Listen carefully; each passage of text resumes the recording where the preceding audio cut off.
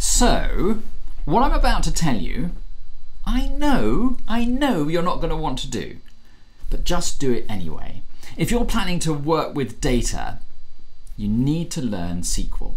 SQL, SQL, structured query language, call it what you will, you need to learn it. And I know it's not as exciting as the idea of learning Python or even R, but you'll be pleased you did. And you will thank me months in the future, years in the future, you'll think, thank goodness I listened to what Giles had to say. So, what I want to do today is share five resources with you, five free resources that will teach you SQL. And look, just don't put it off any longer. Don't do don't don't procrastinate. Don't think oh well i'll get round to it in a few months time just when i've done a bit more of this or that. Learn it now. Learn sql now. Incorporate it into your learning path into your learning plan and just get on with it. So these are the resources. The first one is W3 schools. Now, W3 schools have uh, courses on all sorts of different topics, uh, and their courses are very good.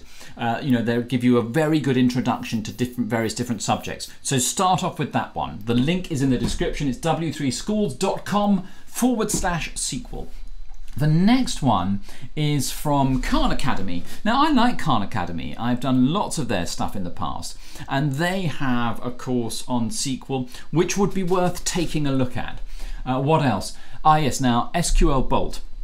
I've had, I haven't been through all, all through this one. Um, I've been through various different lessons and I like the style of this and I really think you could like it. So that's definitely worth taking a look at. The final two are free courses from uh, Udacity. There's SQL for data analysis, uh, which you can see here, uh, which I think looks pretty good. And then there's another course which is an introduction to relational databases. So don't put it off any longer. Start learning SQL now do it today. If you want to work with data, you're going to be expected to be able to work with databases, to write queries, to get information from databases, and that will require SQL. It's one of the top requirements for any data job, so make sure you prioritize learning it.